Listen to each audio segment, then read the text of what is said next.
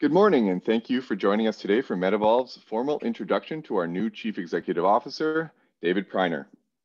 I'm Aaron Otten, Corporate, Corporate Secretary of Medivolve, and we're excited to kick things off. Before we get started, we need to address some housekeeping items.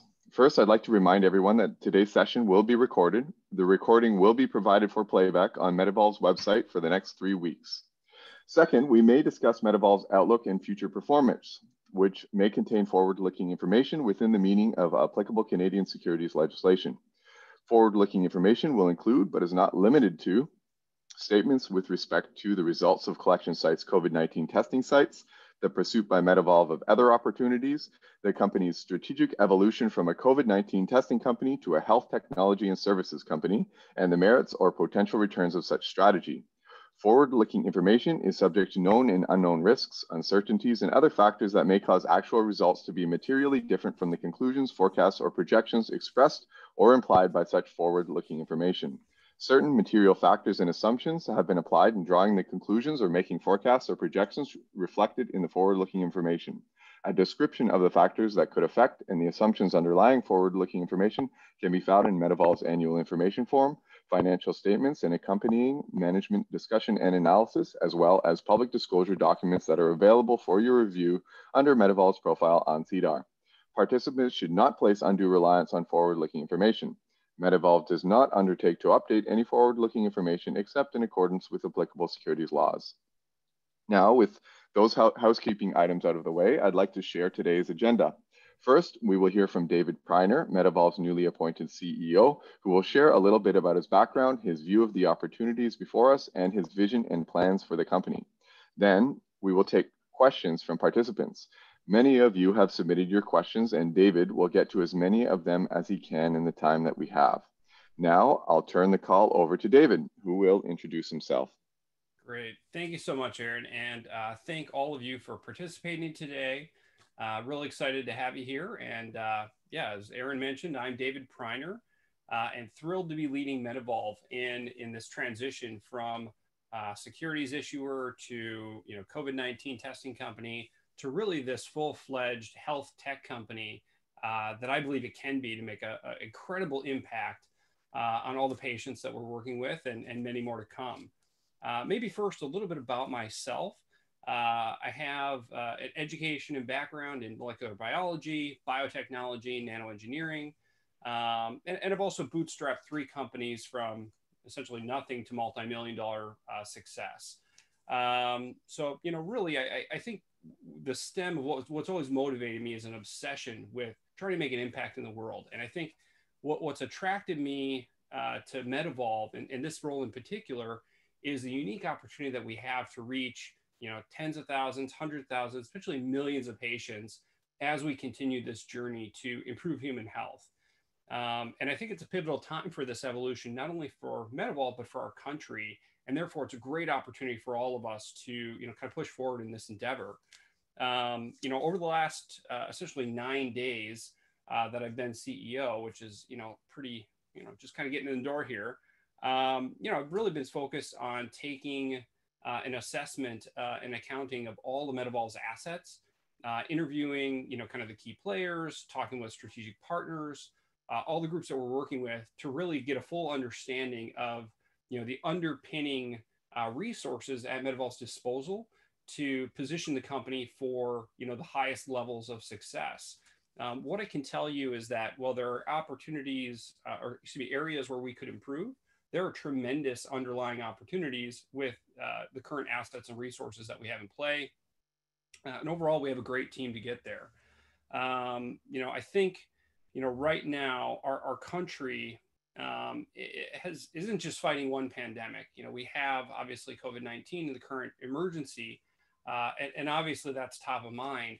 Uh, but we can't forget that there are a number of other health issues plaguing our country um, and, and, many others around the world from you know diabetes to ischemic heart disease uh, to addiction.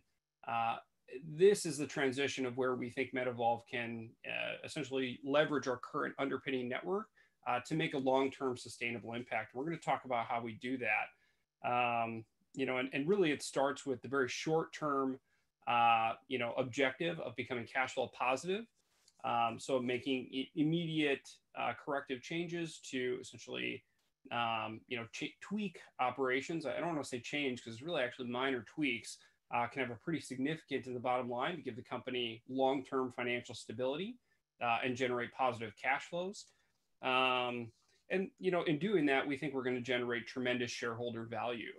Uh, essentially, um, what we're looking to do is transition from uh, the current state of play with our uh, essentially leveraging our collection sites to really a SaaS business model, uh, focusing on the app that was purchased last week from Myosin.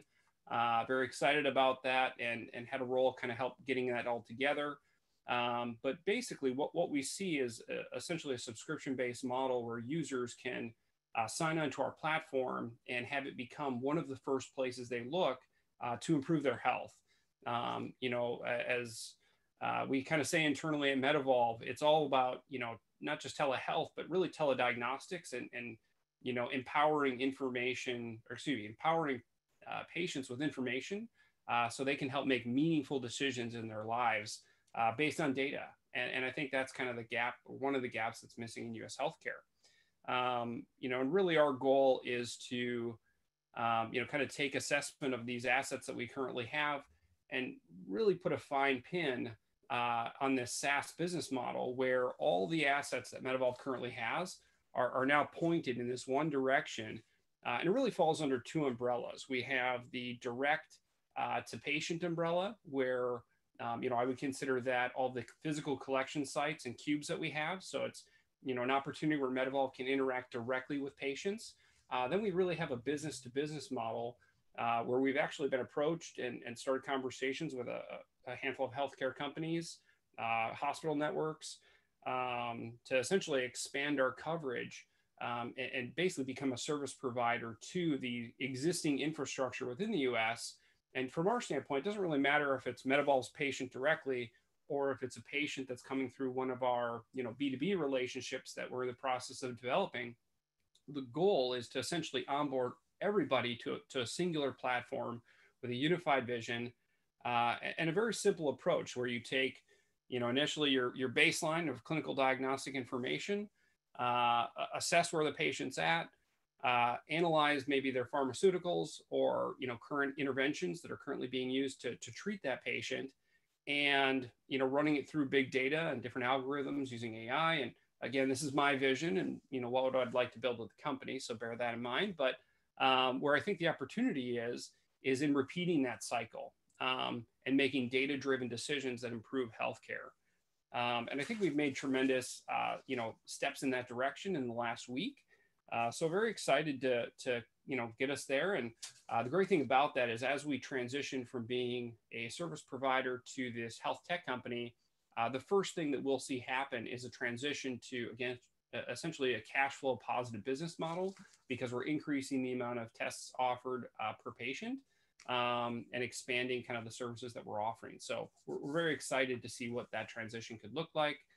Um, you know, as of now, um, you know, kind of the current business model relies on primarily COVID 19. So the three types of tests that we offer, as you all know, uh, real time PCR tests, uh, rapid antigen and rapid antibody IgG and IgM. Um, the average revenue that we're obtaining per patient uh, per encounter is right around $30, uh, give or take. Um, some of the initial changes that we're making to expand this offering, uh, we could see those numbers rise uh, exponentially. Um, early on, we could see you know kind of short-term rises in the next you know three months uh, to maybe the 70 to $100 per encounter range. Um, and I could see that growing over the next six to 12 months uh, to the three to $500 range per encounter uh, if things go well. Um, obviously, all of these are going to be based on patient need and up to the prescribing physician, but these are initial forecasts of, of where we think the direction could go over the next, uh, you know, six to uh, 18 months, uh, just to kind of give a broad range there. Uh, so, you know, very excited about that. Um, you know, and I think the goal here you know, once we get to that point and once each stage is, uh, each site is, is highly profitable, uh, you know, shifting gears back to essentially the, the Starbucks business model where, uh, you know, they focused on reaching, or at a point in Starbucks history, they focused on reaching a critical mass um, where, you know, essentially everywhere you go, there's a Starbucks. Um, my vision for Medivolve would include everywhere you go, there's a Medivolve um, make it very easy and, for patients to access the, the care and information that they need. Um, and then obviously triage to the larger existing hospital networks when needed.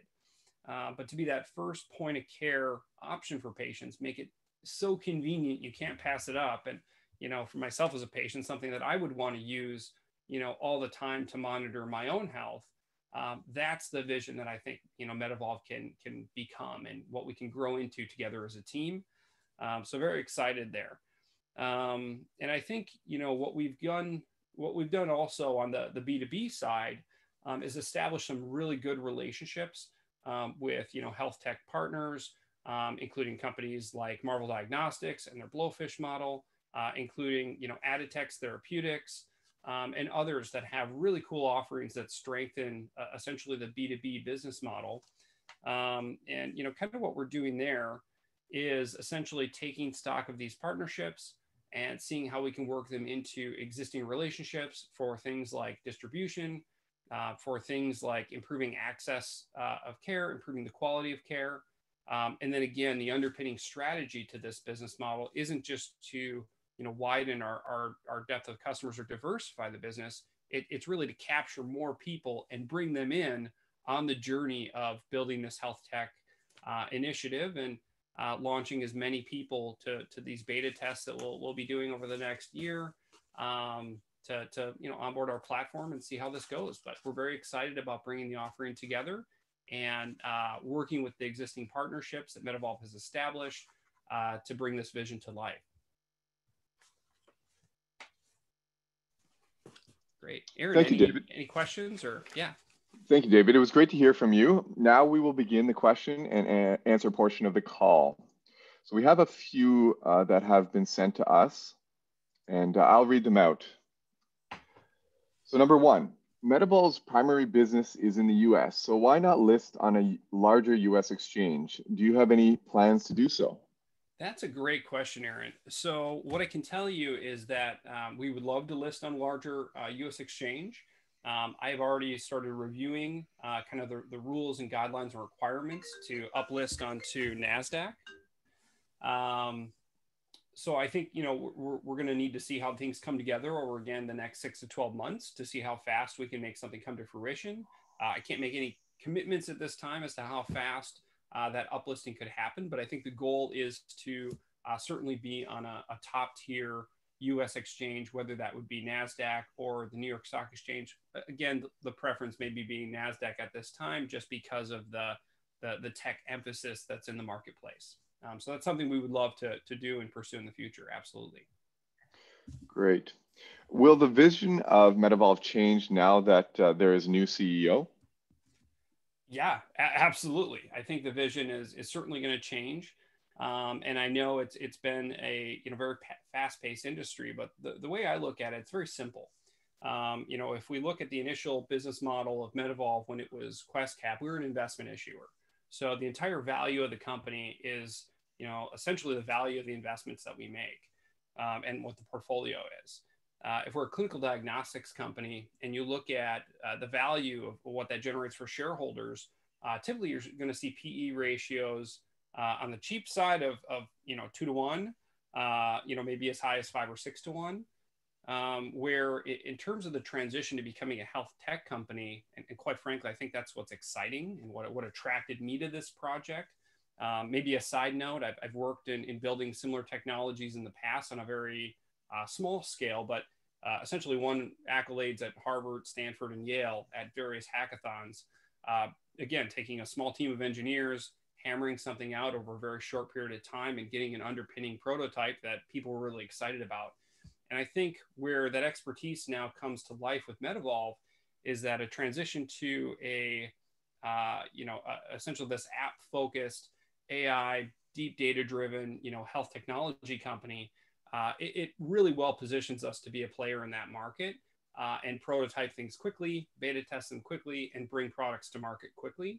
Um, and the great news there is that every dollar we earn now puts us in a, in a tech PE ratio category for our comparables, many of which are 20 to 1, 30 to 1.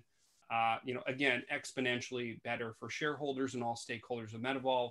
Uh, and we couldn't be more excited to deliver that value, not only to shareholders, but quite honestly, at the end of the day, patients. you know, we want to see how impactful we can become uh, in, in terms of improving human health. And the plan right now is going to be to build the underpinning systems.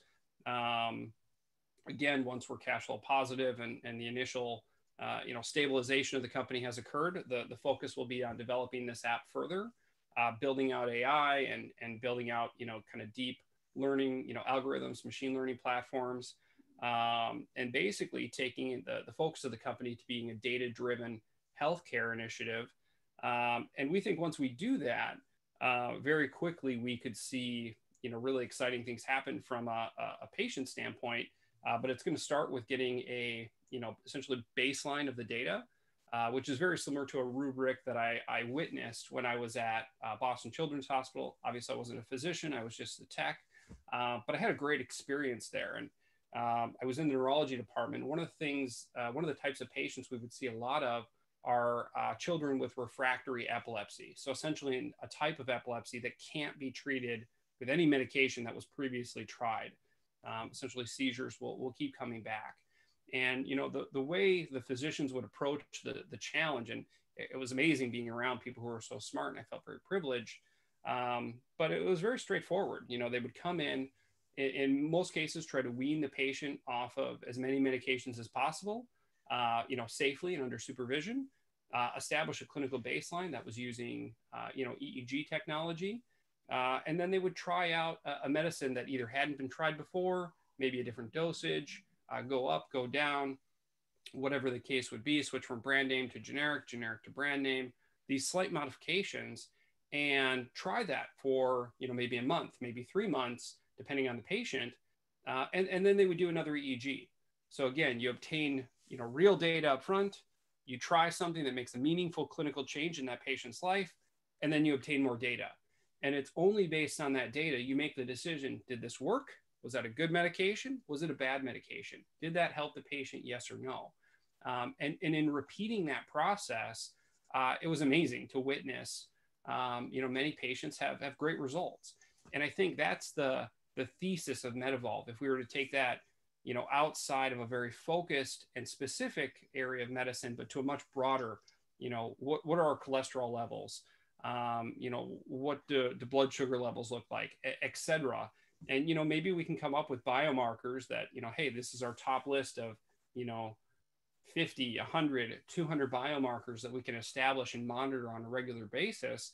And again, making those interventions using uh, the, the diagnostic baseline, and the repeat diagnostics with pharmaceutical recommendations in the middle. Um, and again, just so happens Medivolve purchased a pharmacy. Um, so we've got a pharmacy in, in Nevada, and I think that's an area also of high growth that we'll see under you know the vision that I bring to the table is really that hybrid between partnering with you know top tier clinical diagnostic uh, CLIA labs uh, and then pharmacies uh, you know partnerships or in house, and then closing the loop in healthcare to really provide outstanding patient care. And um, I don't want to say it's an experiment, but I think there's a, a, a statistical likelihood that we'll see opportunities to improve human health. And you know, the the stage we're at right now is kind of that early planning and early design stage. Uh, we're going to be hiring developers soon and um, engineers and you know consulting with various physicians and you know again having lots of fun quite to be quite honest with you um, and then once we establish the, the, the baseline and start generating data, then the, the process is very simple. We let the data tell us, did we do something good? Did we not? Do we need to make a change? Should we improve something? Where are the opportunities? And ultimately, it's going to be all about patient health. And we can leave all the boring stuff like financials off the table and focus on the underpinning mission of improving human health. Um, and I think that's what I'm excited about. And that's the energy, the attitude, the spirit, um, I think it'll be highly profitable. I just think we'll kind of have so much money we don't need to worry about it, and we can focus uh, very, very, you know, acutely on how do we really make changes in people's lives that matter, and can we get good at it? And and right now that's still a question. We don't know. Um, my hope is we get very, very good at it. And I think where Medivolve is really well positioned to, to be a leader in this space, um, despite you know many giants of, of industry you know, IBM, Microsoft, and others that have, have you know, looked at how to integrate AI with healthcare, what makes Medivolve so well positioned is the, the fact that we have direct patient access through, you know, the existing collection sites, the, you know, secondary access through, you know, potential, uh, you know, hospital partnerships or connections that are, you know, kind of happening in the back of the scenes that, um, you know, we hope to secure. We don't have them yet, but we hope to establish um, and, and, again, taking that front end from a clinical diagnostic standpoint, grabbing the data, um, making a clinical recommendation through our AI platform and uh, a network of physicians, which we'll have to secure or in the process of, of talking to groups. Um, you know, at the end of the day, it'll be up to individual physicians to decide, yes, I like what the AI says. No, I don't. I'm going to make the prescription. Um, you know, but our, thought, our thesis is that it'll be something that will be meaningful. Uh, and the goal is to generate data and see uh, how it impacts human health. And, and, you know, our hope is that we see great data. Um, you know, so right now what you're going to see is the, again, the immediate cash flow uh, opportunity to, to become cash flow positive. You'll see us start developing the, the app and more announcements around that. You'll see announcements around expanding our uh, clinical diagnostic offerings through various partnerships. Uh, and you will see um, an expansion of our pharma network. Um, and you know, by combining those all together, we hope to generate some really cool data that you'll hear about, but probably not until after it's published, hopefully in a couple of scientific journals. And um, you know, again, it all depends on the data. We'll see if it looks great, we'll get it published. If it doesn't, well, so much for publishing, right? We'll find out. But uh, at this time, I'm very, very excited about what Medivolve's future holds and, and what we can do together. Thanks, David. Uh, uh here's a question that's come in that I know a lot of shareholders are concerned with. It's about uh, the, the stock short volume. It's very high these days. Do you have any plans to address the stock shorting that's taking place? Yeah, you know, that's a great question, Aaron. I think the, the reason why people are shorting the stock is because they're basing their assumptions on the old story. you know, if you're if you're looking at it as an investment issuer, um, yes, we could have some some tremendous success with, you know, initiatives like our, our partnership with Marble Diagnostics and some of the others. Um, but you know, at the end of the day, uh, a, a, short seller is always going to say, okay, is there a statistical chance that the, the, stock could go down? And you know, while that's always going to exist, um, I'm very, very bullish that Medivolve is well positioned uh, for exponential growth based on uh, again hitting these benchmarks. Becoming cash flow positive means we're not going to be reliant on uh, additional funds. So uh, you know, that can shrink what's available on the market. So again, supply and demand. Uh, the transition from being a uh, collection company with, again, you know, relatively low PE ratios, if you look at the market, to a health tech company, really a SaaS, uh, you know, software company, which which typically have very high PE ratios. Um, and I think that creates a perfect storm um, for us to do very well. And you know, at the end of the day, the short sellers are going to be the ones that are exposed to the greatest level of risk because uh, if you short a stock, there's, you know, and it skyrockets, then then you're stuck. So, um, you know, I, I, don't think it's going to be a major concern, and I think we'll we'll kind of punch through that veil uh, relatively quickly as we start hitting these benchmarks and generating, uh, you know, great results. Which I, I, think we have a great team to do that. So uh, I'm not worried at all. I, I think it's just going to be a minor bump in the road. Okay, thank you. Uh, it's uh, we have three minutes left, so we have time for one last question. I have here, uh, if I was a new investor and, and looked at the website for the first time, uh, I would assume the company is mainly a COVID testing site, but we all know that, that it's much more than that. Will the website be updated more frequently to reflect the vision of the company? Absolutely, and I think you know maybe backing up the the the current website uh, was you know we're undergoing kind of a rebranding uh, in terms of the Medivolve logo, the look, the feel um, you know what's been out there updated so far is was really an, an initial uh, push to just kind of get the, the new look and feel out there for for the company um, and i think where the goal with this is in, instead of having you know several different brands all operating under the medivolve umbrella the goal is going to be to align all of these to essentially have the medivolve brand underneath them um, so in terms of the collection sites in terms of the pharmacy um, so we're working on a strategic marketing campaign that will really align and focus those interests. Um, so it becomes very clear from a, a, a, patient standpoint that it's one seamless company. Um, the other thing that I think you'll see is that as we transition from uh, again being an investment issuer, COVID nineteen testing company to now you know a, a, you know full stack health tech company, um, the the benefit that we're going to see is you know really it's all going to become about how many users we have how many patients do we have how many people are in our system so you know i would love it if you go to our website and the only thing you think is gosh i want to sign up click here that's that's the goal and you know we'll be working on different beta testing uh, showing printouts or, or, demos to users uh, to, to try to gain feedback and make sure we have the uh, best possible ways that you know make it easy for people to sign up get involved get engaged with our platform uh, and really start that relationship with patients that you know we hope will last for a long time Thank you, David, and thank you all for participating today. That concludes the Q&A portion of our call, and we look forward to our next seminar, webinar. Great. Thanks, everyone. I really appreciate it.